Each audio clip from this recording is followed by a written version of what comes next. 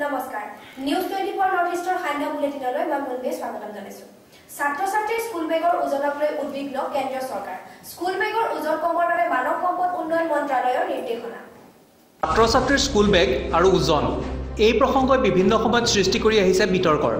প্ৰশ্ন উঠিছে যে স্কুল বেগৰ ওজনে কণ কণ শিক্ষাৰ্থীসকলক সমস্যাত পেলাইছে নেকি? তেনে সময়তে কেন্দ্ৰীয় মানৱ সম্পদ উন্নয়ন মন্ত্ৰালয়ে জাৰি কৰিছে এক গুৰুত্বপূৰ্ণ নিৰ্দেশনা।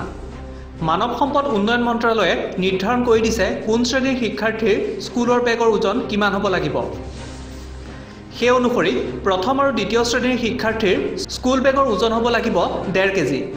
তৃতীয় শ্ৰেণীৰ পৰা পঞ্চম শ্ৰেণীৰ শিক্ষাৰ্থীৰ বাবে দুই দশমিক তিনি কেজি। ষষ্ঠৰ পৰা সপ্তম শ্ৰেণীৰ ছাত্ৰ ছাত্ৰীসকলৰ বাবে চাৰি কেজি। অষ্টম আৰু নৱম শ্ৰেণীৰ শিক্ষাৰ্থীৰ বাবে হ'ব লাগিব চাৰি দশমিক পাঁচ কেজি আৰু দশম শ্ৰেণীৰ বাবে পাঁচ কেজি। নিঃসন্দেহে মানৱ সম্পদ উন্নয়ন মন্ত্ৰালয়ৰ এই সিদ্ধান্ত গুৰুত্বপূৰ্ণ। কিন্তু বহু চৰকাৰী সিদ্ধান্ত আৰু নিৰ্দেশনাৰ দৰে এই নিৰ্দেশনাও কাৰ্যকৰী নোহোৱাকৈ ৰৈ যাব নেকি? Bureau report news twenty four north east Jorhat. ULFA চালিনৰ তৎপৰতাই চিন্তিত কৰি তুলিছে অসম আৰক্ষী তিনিচুকীয়া ডিজিপি কুলধৰ শইকীয়াৰ পৰ্যালোচনা কৰিলে আইন শৃংখলাৰ অচিৰেই ৰাজ্যত চলিব উগ্ৰপন্থীৰ বিৰুদ্ধে জোৰদাৰ অভিযান। এই ঘোষণা অসম আৰক্ষীৰ সঞ্চালক প্ৰধান কুলধৰ শইকীয়াৰ। তিনিচুকীয়াত জিলাখনৰ আৰক্ষী বিষয়াসকলৰ সৈতে এক বৈঠকত মিলিত হোৱাৰ পিছতে এই ঘোষণা ডি জি পি শইকীয়াৰ তেওঁলোকে যিবিলাক হেৰি অপাৰেশ্যন যিবিলাক চলাই আছে উগ্ৰপন্থী বিৰোধী অপাৰেশ্যনবিলাক যাতে আৰু জোৰদাৰ কৰিব পাৰি তাৰে ব্যৱস্থা লৈছে। আৰু কোনবিলাক অঞ্চল ভালনাৰেবল কোনবিলাক তেনেকুৱা ব্যক্তিৰ ওপৰত থ্ৰেট আহিব পাৰে এইবিলাক গোটেই কথা আমি পাতিছোঁ আৰু সেইমতে চাইছোঁ যাতে উগ্ৰপন্থী বিৰুদ্ধে অভিযান আমাৰ আৰু জোৰদাৰ চলে। ইফালে কোনো যুৱক যুৱতী সন্ধানহীন হ'লেই আৰক্ষীয়ে পুংখানুপুংখভাৱে অনুসন্ধান চলাব বুলিও সদৰি কৰে অসম আৰক্ষীৰ মুৰব্বীজনে। আজি আমাৰ যিবিলাক বিষয়া আছে থানা লেভেলত তেওঁলোকক আমি কৈছোঁ যে যদি কোনোবাই গাঁৱৰ পৰা নাইকিয়া হোৱাৰ খবৰ পায় তেওঁলোকে কিবা কামৰ সন্ধানত গৈছে নে কোনো উগ্ৰপন্থী সংগঠনত জইন কৰিব গৈছে এইবিলাক কথা যাতে ভাল ধৰণে পৰীক্ষা কৰি চোৱা যায়।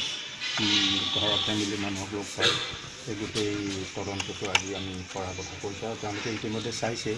তেনেকুৱা ধৰণৰ কোনো সম্ভেদ তেওঁলোকে পোৱা নাই। গোটেই থানাকেইখনৰ বিষয়াবৰ্গই জনালে যে তেওঁলোকৰ ফালৰ পৰা কোনো সম্ভেদ তেনেকুৱা নাই। নতুনকৈ আৰু কোনোবা যি আগতে কিছুমাহ আগতে যি ল'ৰা ছোৱালী গৈছিলে সেইকেইটা সম্ভেদ আছে কিন্তু নতুনকৈ আৰু যোৱাৰ সম্ভেদ তেওঁলোকে পোৱা নাই। অসম আৰক্ষীত প্ৰয়োজন অনুসৰি বিষয়া জোৱানৰ অভাৱ যাৰ বাবে বহু ক্ষেত্ৰত বিভিন্ন অভিযানৰ বাবে অসুবিধাৰ সৃষ্টি হোৱা বুলিও প্ৰকাশ কৰে ডি জি পিগৰাকীয়ে আচলতে শদিয়া বা তিনিচুকীয়াই নহয়। আমাৰ গোটেই অসমতে আমাৰ গোটেই ৰাজ্যখনতে আমাৰ মেন পাৱাৰ কম আছে এইটো আমি এটাই জানো। কিন্তু তাৰ উপৰিও এটা কথা ঠিক যে যিহেতুকে বহুত নতুন নতুন থানা গঠন হৈছে। নতুন জিলা গঠন হৈছে সেইমতে আমাৰ মেন পাৱাৰটো বঢ়া নাই ধলাকাণ্ড চৰাইদেউৰ অপহৰণ আৰু সোণাৰীৰ বিস্ফোৰণ সন্দৰ্ভত আৰক্ষীয়ে তদন্ত অব্যাহত ৰাখিছে। শীঘ্ৰেই সকলো দুৰ্বৃত্ত জালত পৰিব বুলি মন্তব্য কৰে আৰক্ষী সঞ্চালক প্ৰধান কুলধৰ শইকীয়াই। Bureau report news twenty four north east Tinsukia. চামগুৰিত পুনৰ প্ৰাক নিৰ্বাচনী হিংসা। কংগ্ৰেছ প্ৰাৰ্থীৰ গাড়ীত দুৰ্বৃত্তৰ আক্ৰমণ আৰু চালকক মাৰপিট। নগাঁৱৰ চামগুৰিত ব্যাপক ৰূপত নিৰ্বাচনী হিংসা। কনুৱামাৰীত শিলগুটি দলিয়াই কংগ্ৰেছ প্ৰাৰ্থীৰ গাড়ীত দুৰ্বৃত্তৰ আক্ৰমণ। কনুৱামাৰী পঞ্চায়তৰ সভানেত্ৰী আৰু আঞ্চলিক পঞ্চায়তৰ প্ৰাৰ্থী দুগৰাকীয়ে নিৰ্বাচনী প্ৰচাৰ চলাই থকাৰ সময়তে এই ঘটনা সংঘটিত হয়। এই ঘটনাৰ আঁৰত আন এটা ৰাজনৈতিক দলৰ কৰ্মী জড়িত বুলি অভিযোগ উঠিছে। মই বাইক ঠিক কেণ্ডিডেটৰ পিছে পিছে মই বাইকখন লৈ আহি আছোঁ। কেণ্ডিডেট দুজন গাড়ীত বহি আছে। ঠিক টাইমত যিটো বিজেপি কাৰ্যালয় আছে কনুৱামাৰী যিটো ঘাটপাৰ বুলি কয় তাৰপিছত তাত অহাৰ লগে লগে সাত আঠটামান ল'ৰাই ৰড লৈ আহি পেলাই বাইকখন আগুচি ধৰে গাড়ীখন। আগুচি ধৰি ধাম ধুম একদম কোবাই দিলে গাড়ীখনত। কেণ্ডিডেট দুটা মানে খুব ভয়ানক অৱস্থাত অলপ অলপ মানে অসুস্থ অৱস্থাত আছে এতিয়া বৰ্তমান। আনহাতে বাজিয়া গাঁৱতো কংগ্ৰেছে নিৰ্বাচনী প্ৰচাৰত ব্যৱহাৰ কৰা এখন গাড়ীত একাংশ লোকে আক্ৰমণ কৰে। লগতে মাৰপিট কৰে গাড়ী চালকজনক। গুণ্ডা বাহিনী লৈ গৈ আমাৰ এজন ল'ৰাৰ গাড়ী লৈ গৈ আছিলে পেনাই চেণ্টাৰত। তাৰ ঘৰৰ পৰা অলপ দূৰতেই সেই পাঁচ নম্বৰ ৱাৰ্ডত গৈ এই গাড়ীখন ভাঙি আৰু ল'ৰাজনক মাৰপিট কৰিছে আৰু পইচা আছিলে লগত পইচাখিনি লৈ গ'ল। উল্লেখ্য যে পঞ্চায়ত নিৰ্বাচনক কেন্দ্ৰ কৰি চামগুৰিত সংঘটিত হৈছে বহুকেইটা বিক্ষিপ্ত ঘটনা। ৰোষত পৰিছে প্ৰাক্তন মন্ত্ৰী Rakibul হুছেইনো। Bureau report news twenty four north east Samaguri. গৈছিল ভূত বিচাৰি কিন্তু শুভ নাছিল গুৰু। চাওক এইজন অগপকৰ্মীৰ বিলৈ। নিশা পঞ্চায়ত নিৰ্বাচনৰ প্ৰচাৰ চলাবলৈ সেই ৰাইজৰ ৰোষত পৰিল অগপকৰ। ঘটনাটো ঘটিল কামপুৰৰ সমীপৱৰ্তী কঠীয়াতলী নাম্বৰ পঞ্চায়তত দেওবাৰে নিশা কামপুৰৰ বুকলুং অঞ্চলত নিৰ্বাচনী প্ৰচাৰ চলাবলৈ আহিছিল অগপৰ কেইজনমান কৰ্মী। কিন্তু দেওবাৰে দিন বেয়া আছিল সোণমণি দাস নামৰ এজন অগপকৰ্মী অগপদলৰ কৰ্মী সোণমণি দাসে তিনি বছৰৰ পূৰ্বেই অঞ্চলটোৰ এগৰাকী মহিলাৰ পৰা চৰকাৰী ঘৰ দিয়াৰ নামত উৎকোচ লৈছিল পাঁচ হাজাৰ টকা। টকা ল'লে কিন্তু ঘৰ নিদিলে। তিনি বছৰ ধৰি দেখা দেখি নাই সোণমণি দাসৰ। কিন্তু দেওবাৰে নিশা নিৰ্বাচনী প্ৰচাৰ চলাবলৈ গৈ ফান্দত সোণমণি অঞ্চলবাসীৰ সহযোগত উৎকোচ দিয়া মহিলাগৰাকীয়ে জালত পেলালে প্ৰবঞ্চক সোণমণি দাসক। সি আহি পেলাই কৈছে যে দুদিনৰ ভিতৰত টকাটো দিব লাগে। পিছত মই গৈ পেলাই টকাটো এজনী মানুহৰ পৰা ধাৰলৈ আনিছো ইণ্টাজৰ পৰা আনিছো। আনি পেলাই মই ছয় মাহ ইণ্টাজ ভৰিছো। ৰাইজৰ জেৰাত প্ৰবঞ্চক অগপকৰ্মী সোণমণি দাসেও স্বীকাৰ কৰিলে তিনি বছৰ পূৰ্বে টকা লোৱাৰ কথা। ইহঁতে দুঘৰে আঢ়ৈশ আঢ়ৈ হাজাৰকৈ পাঁচ হাজাৰ দিছে। ময়ো হেৰি কৰি বোলো কামটো আগবঢ়াব পাৰোঁ নেকি এনেকৈ বুলি লৈছোঁ। কি? ঘটনাস্থলীত আৰক্ষী উপস্থিত হৈ সোণমণি দাসক আটক কৰাৰ পিছতহে শান্ত হয় পৰিস্থিতি। কামপুৰৰ পৰা প্ৰশান্ত ৰাজবংশীৰ report news twenty north east এটি দুৰ্ভগীয়া শিশুক লৈ এক বিশেষ প্ৰতিবেদন। যুগুত কৰিছে আমাৰ সাংবাদিক দীপক হাজৰিকাই। চাওক সেই প্ৰতিবেদন। ধন্যবাদ মুন্মি এই মুহূৰ্তত আমি ডিব্ৰুগড়ৰ এটা খবৰ দিব লৈছোঁ। ডিব্ৰুগড়ৰ এটি ছয় বছৰীয়া কণমানি শিশু এটি দুৰাৰোগ্য ৰোগত আক্ৰান্ত হৈছে আৰু অৰ্থৰ অভাৱত অতিকৈ দৰিদ্ৰ পৰিয়ালৰ শিশুটি। এতিয়া জী জীৱন মৃত্যুৰে সৈতে যুঁজিছে বুলি ক'ব লাগিব। আৰু এই ভিজুৱেল আমি দেখুৱাই আছোঁ। পুনৰবাৰ আমি জনাইছোঁ ডিব্ৰুগড়ৰ এটি কণমানি শিশুৰ আমি খবৰ দিছোঁ এই মুহূৰ্তত আৰু এই দৃশ্যত আপোনালোকে দেখা পোৱা। ডিব্ৰুগড়ৰ ছয় বছৰীয়া শিশুটিৰ নাম হৈছে ৰাঘৱ বাহেধৰা। আৰু ৰাঘৱ বাহেধৰা নামৰ এই ছয় বছৰীয়া শিশুটি ব্লাড কেঞ্চাৰ ৰোগত আক্ৰান্ত হৈছে। ইতিমধ্যে ছয় মাহৰ পূৰ্বেই ৰাঘৱ আক্ৰান্ত হৈছে ব্লাড কেঞ্চাৰত বি বৰুৱা কেঞ্চাৰ হস্পিটেলত ইতিমধ্যে চিকিৎসাধীন হৈ আছে এই কণমানি শিশুটি। অতিকৈ দৰিদ্ৰ পৰিয়ালৰ শিশু হৈছে ৰাঘৱ বাহেধৰা পিতৃ দিগন্ত বাহেধৰা এজন গাড়ী চালক। আৰু গাড়ী চালকৰ বৃত্তিয়ে গাড়ী চালকৰ বৃত্তিৰে তেওঁ নিজৰ পুত্ৰক উন্নত চিকিৎসা তেওঁ কৰিব পৰা নাই। আৰু এই পৰিয়ালটোৱে ইতিমধ্যে আমাৰ লগত যোগাযোগ কৰিছে এই বাতৰি সম্প্ৰচাৰৰ বাবে। আৰু সেইবাবে আমি আজি বাতৰি সম্প্ৰচাৰ কৰিবলগীয়া হৈছে। আৰু আমাৰ যোগেদি তেওঁলোকে ৰাইজক অনুৰোধ জনাইছে। চৰকাৰক অনুৰোধ জনাইছে বিভিন্ন দল সংগঠনক অনুৰোধ জনাইছে। অকণমান সহায় কৰক এই শিশুটিক। ইতিমধ্যে চিকিৎসকে জনাইছে যে উন্নত চিকিৎসাৰ বাবে তেওঁক বাহিৰলৈ নিব লাগিব। আৰু এই চিকিৎসাৰ বাবে এতিয়া প্ৰয়োজন হৈছে বাৰৰ পৰা পোন্ধৰ লাখ টকা। কিন্তু এই অতিকৈ দৰিদ্ৰ পৰিয়ালৰ বাবে বাৰৰ পৰা পোন্ধৰ লাখ টকা যোগাৰ কৰাটো কেতিয়াও সম্ভৱপৰ হৈ উঠা নাই। আৰু তাৰ বাবে এতিয়া মৃত্যুৰ সৈতে জীৱন যুদ্ধত যুঁজিছে এই কণমানি শিশু আমি ভিজুৱেল দেখুৱাই আছোঁ।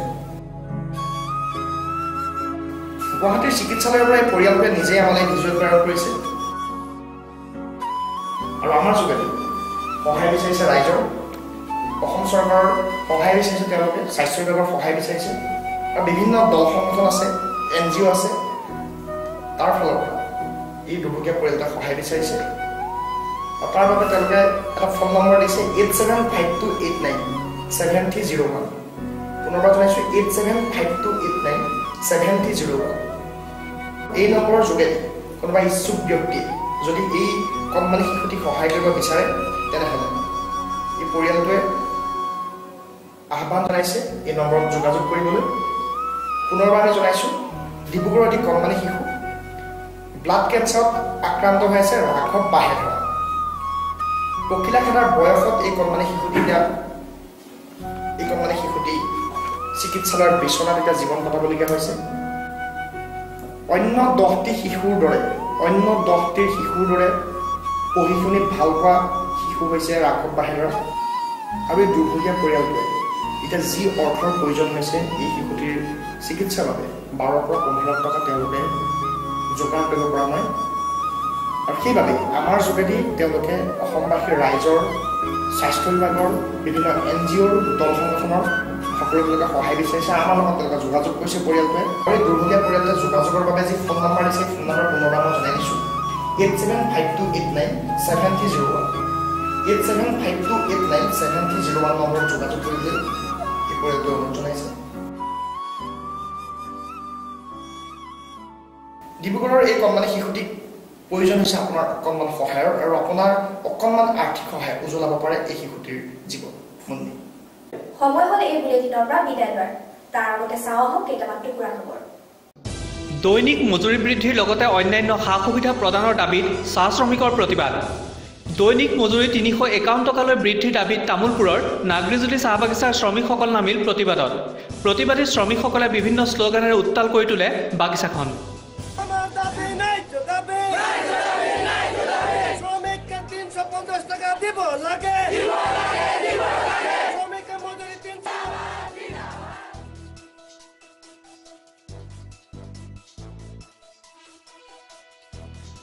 বাল্য বিবাহ প্ৰতিৰোধৰ বাবে সজাগতা সমদল।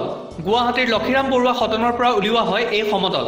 সমদলত বহু ছাত্ৰ ছাত্ৰীৰ লগত ৰেড ক্ৰছ ছ'চাইটি আৰু ইউনিচেফৰ বিষয়ববীয়াসকলেও অংশগ্ৰহণ কৰে। ইউনিচেফৰ সঞ্চালক চিৰঞ্জীৱ কাকতীয়ে আঁত ধৰা অনুষ্ঠানটোত উপস্থিত থাকে বিশিষ্ট অভিনেতা নিপন গোস্বামীও। ষোল্লটাকৈ সংগঠনৰ সহযোগত কাৰ্বি ছাত্ৰ সন্থাৰ প্ৰতিবাদী কাৰ্যসূচী। কাৰ্বি আংলং আৰু পশ্চিম কাৰ্বি আংলঙত বাৰ ঘণ্টীয়া বন্ধ। তেওঁলোকৰ তিনিটাকৈ দাবীৰ প্ৰতি কেন্দ্ৰীয় আৰু ৰাজ্য চৰকাৰে গুৰুত্ব নিদিয়াৰ প্ৰতিবাদত এই বন্ধৰ কাৰ্যসূচী। বন্ধৰ ফলত জিলা দুখনৰ স্বাভাৱিক জনজীৱন ব্যাহত হৈ পৰে। আগন্তুক পঞ্চায়ত নিৰ্বাচনক কেন্দ্ৰ কৰি গহপুৰত শাসকীয় বিজেপিৰ ব্যাপক তৎপৰতা।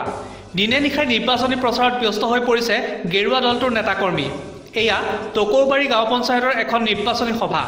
এই সভাত কংগ্ৰেছৰ শতাধিক কৰ্মীয়ে যোগদান কৰে বিজেপিত। অগ্ৰণী ব্যৱসায়িক প্ৰতিষ্ঠান চিটি লাইফ ৰিটেইল প্ৰাইভেট লিমিটেডৰ গুৱাহাটীৰ আদাবাৰীত শ্ব'ৰুম চি টু মুকলি। চি টুৰ অৰ্থ কেছ এণ্ড কেৰি। এই শ্ব'ৰুমত নিৰান্নব্বৈ টকাৰ পৰা সামগ্ৰী উপলব্ধ হ'ব।